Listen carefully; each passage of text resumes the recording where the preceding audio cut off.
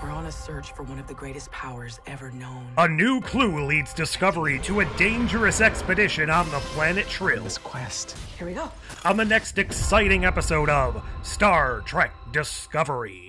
Welcome, friends. We're back talking Star Trek Discovery Season 5, the third episode of this final season, all the way up to uh, the second MacGuffin finding mission. This one's entitled Jinaal, and we are trilling in the name of. But if you don't want spoilers, this is your last chance to duck out.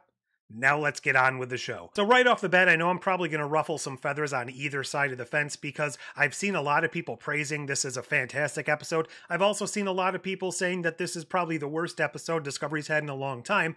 And while I personally think this is by far the weakest episode of this fifth season so far, I did find some good redeeming value in it. So, let's talk about the things I both liked and disliked. We had a couple different storylines going on in this episode. The Saru and T'Rina stuff entirely disconnected. So if you recall, last episode was that final mission between Saru and Michael. They're saying goodbye while they were finding the first real piece of this progenitor map or whatever it is. So that was a nice send off for them. So we deal entirely with Saru and his ambassadorial duties and his uh, upcoming marriage to T'Rina. And I guess they have their first fight in this uh, this part of the storyline. Which leads me to something that's a trope in TV and movies that kind of gets on my nerves. Maybe it's my sheltered upbringing or something. But when you have somebody that's engaged, you have these people that are already planning to get married, and they're experiencing things that should be something they should have experienced well and truly before they made that decision to take that plunge for marriage. In this case, it's the first fight, the first real fight between T'Rina and Saru. And Saru's like, I don't even know how to deal with this. It's never happened to me before. I get that that's probably something that makes good logical sense in a relationship story, but they've already committed to getting married. Similar to in sitcoms and movies and stuff when they have the Christmas episode and they put up the Christmas tree and decorate and all of that stuff on Christmas Eve. What is the point in that? Maybe this is stuff that goes on in uh, other relationships, other people's Christmas celebrations, things like that. But that's just something that always gets me like, how are you entering into this situation before you've really taken the time to experience the full gamut of relationship issues ahead of time? A little bit of a tangent that has nothing to do with their actual relationship. I liked the way they dealt with it. It was a very kind of mature thing. But I also feel that the whole ambassadorial part of Saru's job here could have been a little bit more fleshed out i guess. He's already doing these duties as far as um you know negotiating for planets rights and stuff. But we as the audience know absolutely nothing about the region of space he's negotiating for. We don't really know the ins and the outs. And I know that's not really the point of Discovery, and they're probably just doing this to keep Saru in the show. I just would have liked a little bit more fleshing out, because as it stands, that entire part of the episode felt empty. It felt less lived in, and it felt more like, I don't know, just kind of this ancillary thing they were sticking off to the side. I would have just liked that to be a bit more fleshed out. We had a few characters, a few cool aliens, that Vulcan guy that kind of led to the disagreement. And then we also learn about this whole loyalist Vulcan faction, which could potentially be a big player in some situations going on, just not really worked out enough in my mind to feel warranted to have that much screen time.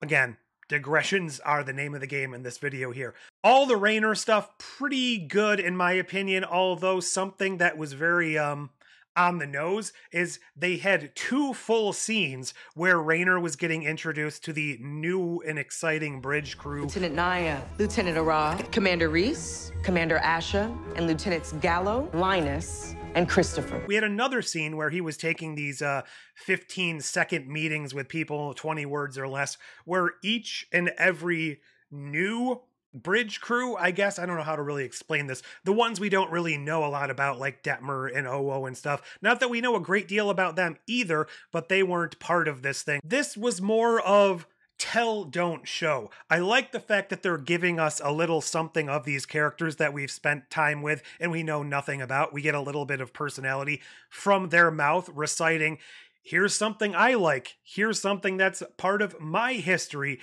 but that's not giving us a real exploration of these characters. I would prefer if they actually explored these people by maybe sending them on an away mission, having them deal with the main storyline, and then we come to learn something about them through action as opposed to.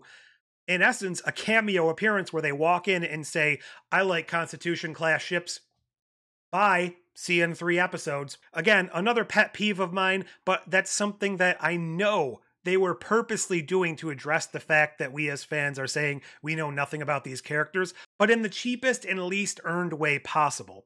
The other thing that fell a little bit flat for me, and again, this is possibly up to me because I didn't go back and rewatch the prior seasons before this came out, and it's been so long since we actually experienced them that I might just not be reconnecting as well. But the Gray and Adira relationship just felt like they were throwing it in because they needed to.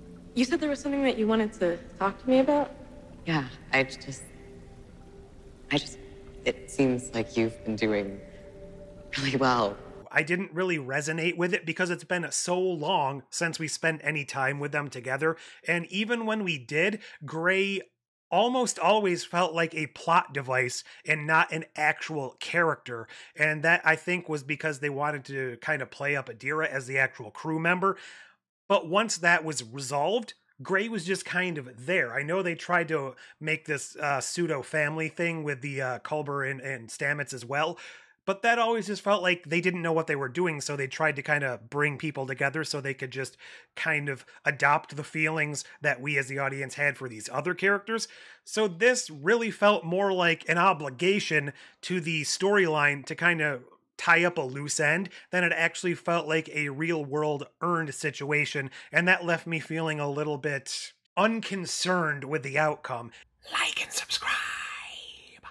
Like and subscribe. Like and subscribe. But that part did lead me to one of my huge ups for this episode, and that was the entire Trill storyline outside of that relationship. The entire story of trying to get this information from an 800 year old Trill, well, actually, probably well over 800 years old, because 800 years ago, this Trill, who turns out to be Jinaal, was on the expedition with the Romulan scientists and some others to find this progenitor technology. Turns out this progenitor tech was going to be all sorts of, you know, um, the Genesis device souped up to over 9,000. It could potentially turn the tide of the entire galaxy, kill all these people, re- all this world ending, galaxy ending potential. So that's why they decided we, as a quadrant, as a galaxy, as a people, as a species, as a coalition, whatever you want to say, don't have the ability to utilize this in the correct way. So they went out of their way to hide it from prying eyes, which I like. That's something I actually discussed in the last video that uh, it felt like they should have fleshed that period of time out a little bit. It was just kind of like, oh, Picard and these people found it and then it just got lost. So they're actually fleshing it out. There was a reason people were unable to locate this for so long because they set up this elaborate scavenger hunt for when the correct time came, people that were more evolved and more enlightened would be able to get to it and do correct things instead of just destroying the galaxy. Leading me down the path to think that my Kovich theory might hold some water, video on that coming soon. So I really, really like this pretty much everything from when Jacob met Selmak. If you agree to the blending, we could be together for a very long time. Sorry, wrong franchise. When Culber had the consciousness of Jinaal transferred into him,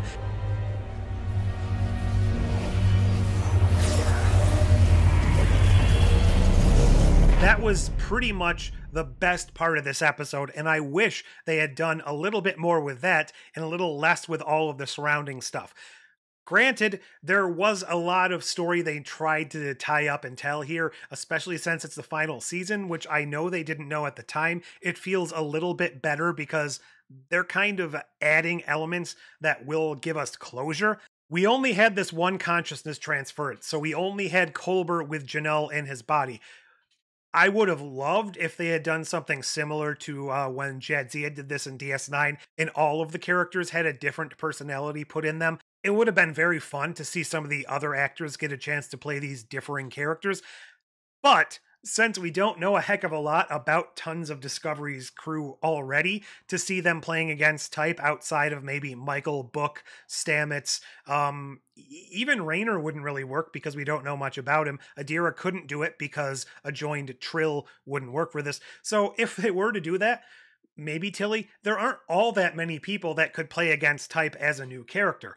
Also, something I thought was a potential missed opportunity, and granted, this is my own writing in my head, so it's not something I can really ding the episode for not doing. This would have been a fantastic way to get that Jonathan Frakes Riker cameo into Discovery because this is a Trill we know lived 800 years ago at the time of this uh, whole progenitor situation, the chase, Riker was a joined Trill for a very brief amount of time back then.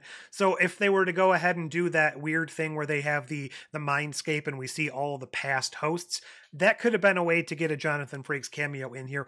I know it wouldn't have necessarily made sense, and I 100% love the fact that they didn't give us a Trill we already know especially they didn't pull a this is actually a Dax, because that makes the universe just feel oh so small. So while it would have been a fun way to get him in here, I'm kind of glad they went with a character we don't already know. We also learn in this episode that the next location is going to be. But they're in Zemgethi space, so we can't go until the diplomats clear the way. That's kind of interesting, and we learn a little bit more about the Breen, seemingly setting them up to be some kind of antagonist or at least a main threat or component. Hopefully, we actually get to see them in action more so than just these references. And I know a lot of speculation is going on that Locke is a Breen. I don't think that's necessarily the case. I think there's more to him than that, but that all remains to be seen. The Cloak Beast, fun, I guess. It's not the most exciting thing. I know we saw a part of that in the preseason trailer, so that was a bit spoiled maybe I'm just jaded, but a lot of these long, exaggerated fight scenes just kind of draw on a bit too much, and I find myself checking out. But I do very much appreciate them utilizing their um personal transporters as a form of, you know, just combat tactics. When they actually utilize parts of their environment in a useful manner, that's always something that leads me back to okay, somebody put thought into this writing. Good seeing Reno for the 2.5 seconds she was in the episode. Last time I did this, they gave me chips. I don't know how much more we're going to see her, but that was another plus. And oh, hi, Moll. She was hiding in the uh, the Trill chamber, I guess, the whole time, or at least part of it, and she slipped some sort of, I'm assuming, uh, tracking device on Adira. So that's probably going to lead to some sort of confrontation next episode. What were your thoughts on this episode? What are your thoughts of this season? Where do you think we are going? I was a little disheartened to not see any real L'ak and Moll teaming up in this episode. Hopefully, we get a lot more of that next episode. And based on what I've heard from people that have apparently seen the whole season already, episode four is supposed to be something special. So fingers crossed it's a big step up from this episode, at least in my opinion. Hopefully, this was just the relationship calm before the really cool storm. Leave all your thoughts down below, like, share, subscribe to all those fancy YouTube things. But until next time, this guy really works out.